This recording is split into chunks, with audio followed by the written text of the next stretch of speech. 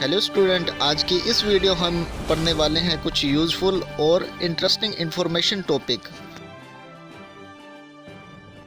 आज का हमारा टॉपिक है फादर ऑफ़ डिफरेंट डिसिप्लिन्स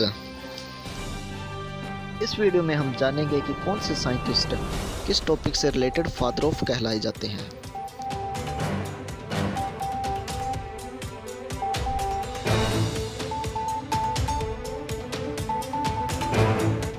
इसमें फ़र्स्ट है एग्रोनॉमी के फादर कौन है या फिर एग्रोनॉमी के फादर ऑफ़ कौन है तो इसमें है Peter de Crescenzi ji.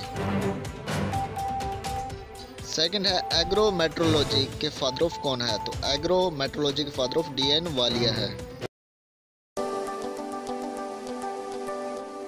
Biochemistry के फादर ऑफ़ है जस्टिस वॉनली बिग अब है एक्सटेंशन एजुकेशन के फादर ऑफ़ एक्सटेंशन एजुकेशन के फादर है ए सीमन या ligands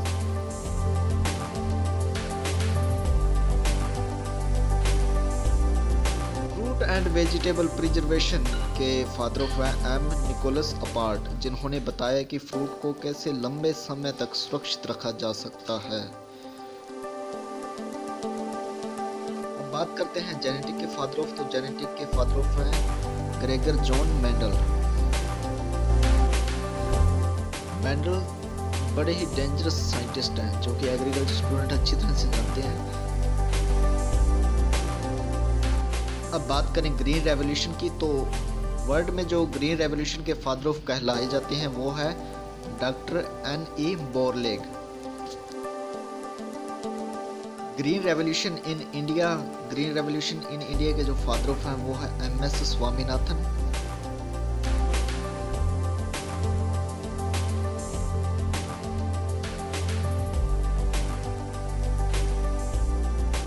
golden revolution in India, golden revolution in India के फादर ऑफ़ हैं doctor K C Chadha hybrid rice hybrid rice के फादर ऑफ़ है Yuan Longping.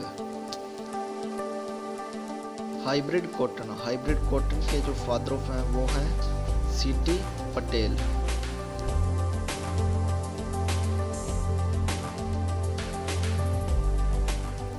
Indian plant pathology के father of कौन है? तो इंडियन प्लांट पैथोलॉजी के father of E J Butler हैं। फादर ऑफ़ माइक्रोबायोलॉजी तो स्टूडेंट फादर ऑफ़ माइक्रोबायोलॉजी जो हैं, वो है Louis Pasteur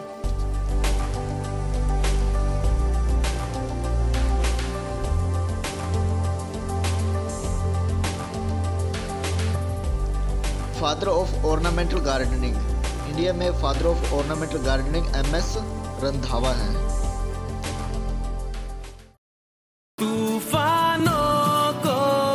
अगर आपको यह वीडियो पसंद आई तो इसे लाइक करें और इस चैनल के साथ जुड़ने के लिए इस चैनल को सब्सक्राइब करें।